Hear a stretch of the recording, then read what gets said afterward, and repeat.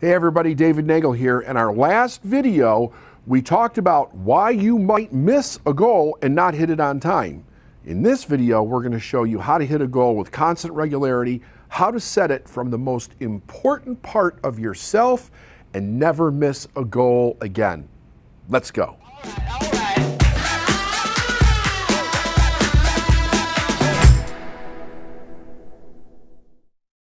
So, first, let's start off with this idea. What do you really want? A goal that's something that is deep in our desires, something that we really think about in our life that is worthy of our trading our life for. And let me, let me explain what that means. When you set a goal, you're trading something for it. What is that trade? That trade is your life.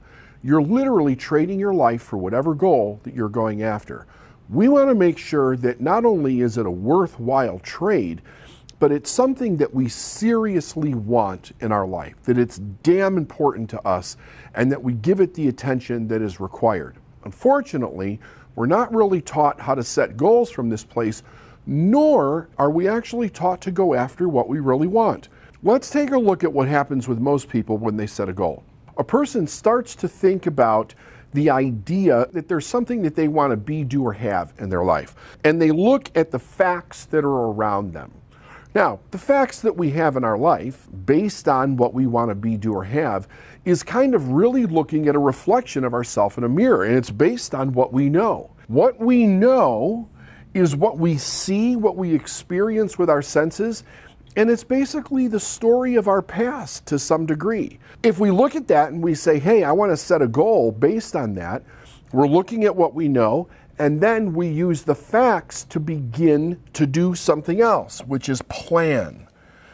We start to plan. Now, as we get into the planning stage, when it comes down to, well, here's the fact. The fact is I want to increase my income 100,000 or I want to increase my income a million or maybe I want to lose weight and get in shape. Or maybe I want to have an amazing relationship and take that to the next level.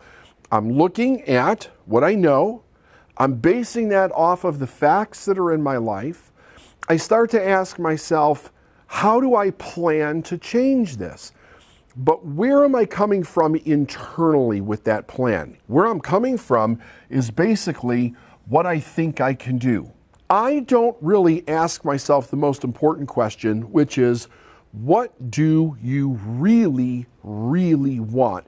What is the desire of your heart when you're thinking about a goal? And here's the reason why we don't generally do that because in order to do it, we have to dream. We have to use our imagination, which is a faculty of our intellect, by the way, and we have to allow that imagination to really soar. We have to tap into ourselves emotionally. We have to tap into our desire. The problem with this is that when we were kids, we were taught this wasn't okay. See, when we were really little, it was fine because dreaming, fantasizing, playing with all different kinds of toys kind of kept you out of your parents' hair and it kept you busy. But once we started to go to school, we have to get involved socially, educationally with other children the idea of fantasizing or daydreaming just doesn't hit the mark anymore. It's not okay to fantasize, it's not okay to daydream.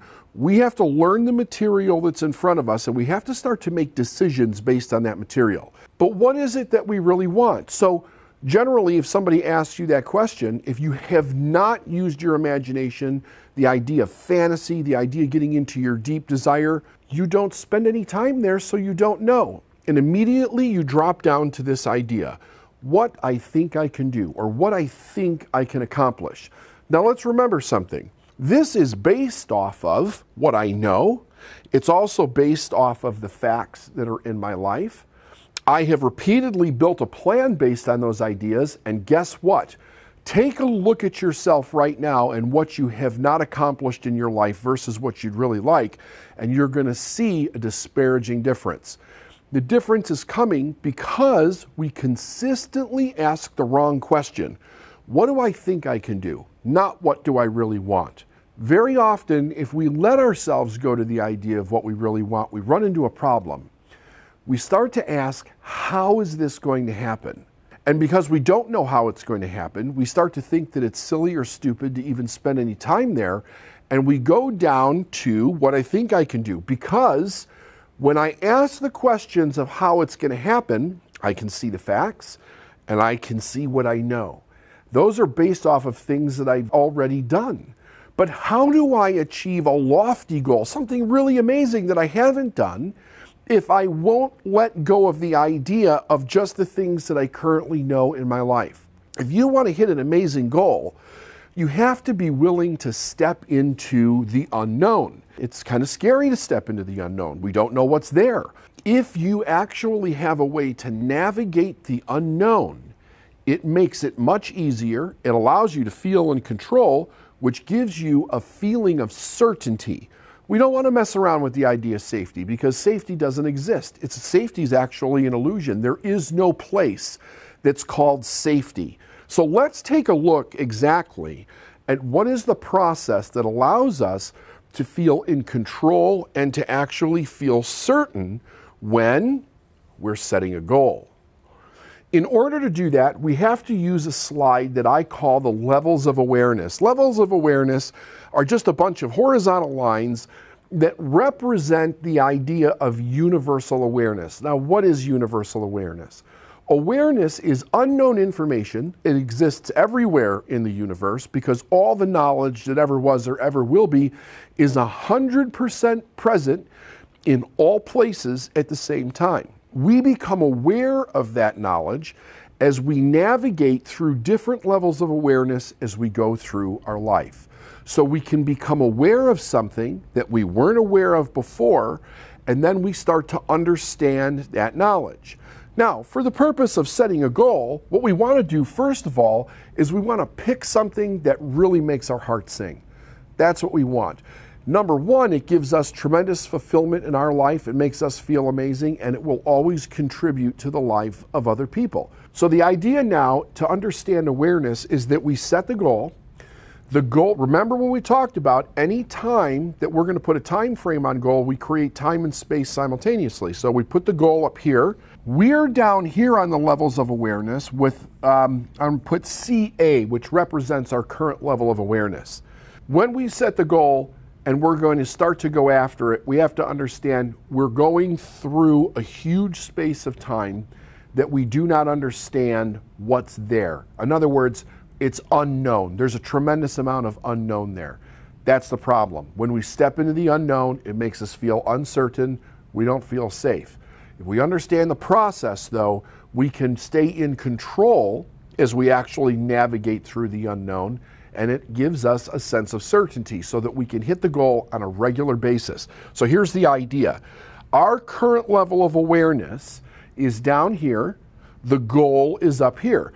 Let's say that we're going to set a goal where we want to make a lot of money. I'm going to use that because it's something that everybody can relate to. So you want an increase of money. Well, let's just let's just play. Let's say we want to make a million dollars, okay? And of course this can be anything. Now, let's say that your current level of awareness based on where you are in your life is at 25,000.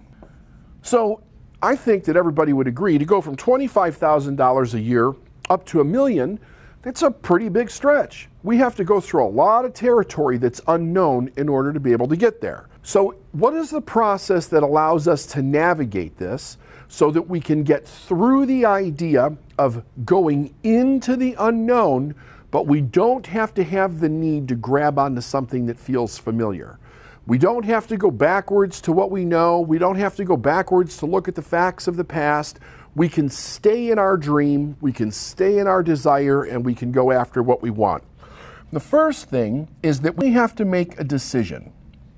Decision literally means to cut away from. It comes from the Latin decaere, which means to cut off or to cut away from. Why is that important? Because when we make a decision, it's not one of those ideas where it's like, okay, I'm going to decide to do this, and then tomorrow, when I'm tired or I don't feel well or I feel uncomfortable, I'm going to break that decision and go back to what I was doing before. A goal, if you remember what I said on the last video, is it gives our life direction. That means that it's there for the reason of our growth. In order to hit the goal, we have to grow, but we have to learn to navigate it in order for that to happen. So I make a decision. When I make a decision, the next thing is that I have to be aware of what's next. When I decide to do something, immediately my mind flips over to a different level of vibration and I start to become aware of the very next step that I have to take. Here's where people make a tremendous error. A lot of times they're like, okay, I know I want the goal. Here's where I am. The problem is, I won't make a decision because I don't know the next thing that I have to do. Understand that in order to find out what the next piece is, decision is the first requirement in order to find that.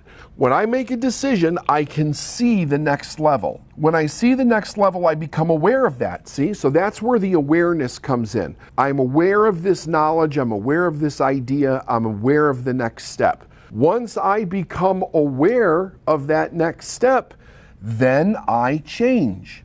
Change is the next process because I have to do something different in order to step into the next step. So maybe I have to learn something, maybe I have to change a behavior, maybe I have to develop a new habit. Either way, whatever it is, you're changing from something old to something new.